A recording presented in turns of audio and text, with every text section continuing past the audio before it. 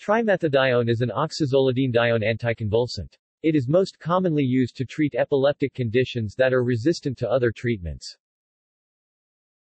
Fetal trimethadione syndrome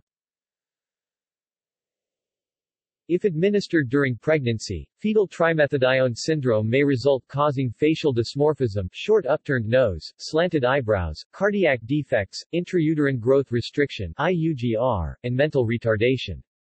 The fetal loss rate while using trimethadione has been reported to be as high as 87%. References.